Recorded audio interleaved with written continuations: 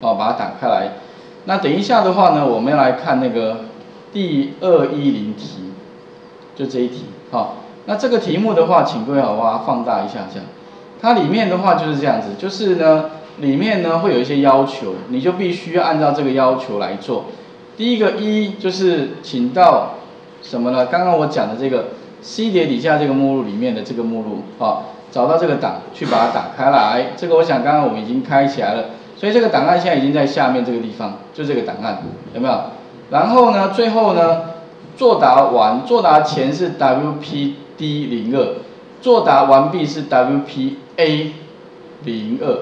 考试的时候就是要改一个档名，另存新档之后改一下。那可是如果说你缴交作业的话，特别注意啊，请各位哈，缴交作业的时候呢，请你把那个啊缴交作业的时候呢哈，请你把那个目录有没有？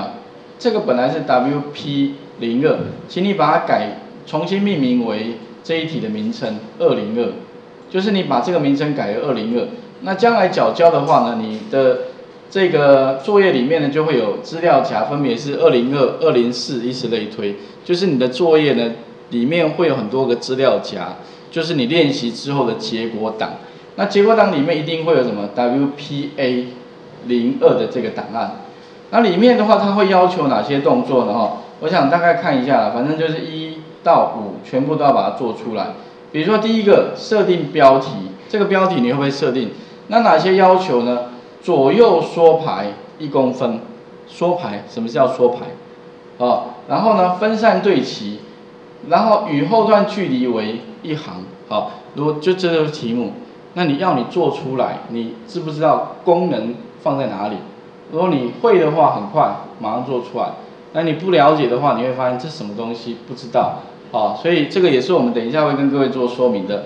第二个呢，将紫色文字段落分为三个等函，栏距为多少，加上分隔线。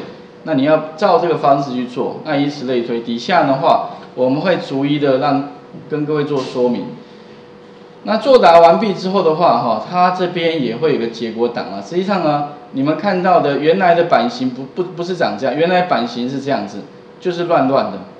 它要我们做出来结果呢，就是跟那个 PDF 档里面的这个版型是长得一模一样，就是要你怎么样重新做排版的动作。那里面的话呢，会用到像那个段落的功能，还有就是所谓的定位点，比如说你那个字要怎么样刚好定在。固定的位置上面去啊，里面都会有相关的要求，所以请各位哈，先把这个练习系统安装完，然后呢执行数科练习的这个二零二题，二零二题，并且开起来，然后顺便也看一下题目哈，好吧，画面呢先还给各位一下哈。